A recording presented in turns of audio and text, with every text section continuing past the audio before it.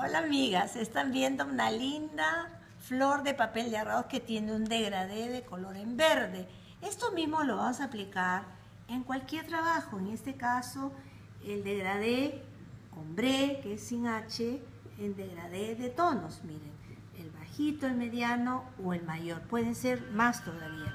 Yo voy a necesitar dos bolitas del mismo tamaño o del mismo peso y la voy a trabajar de esta manera, mira bien así de mayor a menor, como si fuera una nariz, ¿ok?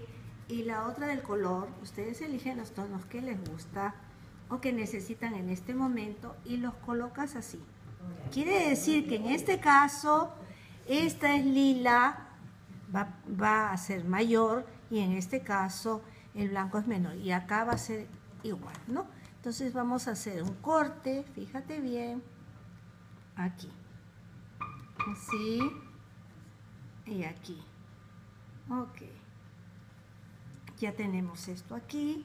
Entonces vamos a trabajar esta que tiene menos blanco y más lila. O sea el color alto como en este caso. Ustedes mezclan bien amasan bonito pueden dar un poquito de manteca. En fin lo que ustedes están buscando es un color mayor. El de aquí el otro extremo va a salir un color un poquito más pálido y el centro tendrá un, un color mediano, ¿ve? En este caso prevalece el blanco y no el lila. Por supuesto que ustedes pueden hacer esto mucho más grande y encontrar diversos tonos. ¿Ven?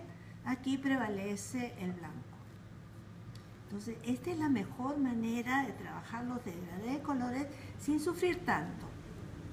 Recuerden, en las flores se van a ver hermosísimas, en los trabajos de tortas infantiles, en fin, para lo que deseen. ¿eh?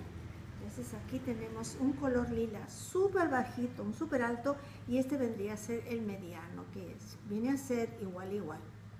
Ok, espero habernos ayudado con esto.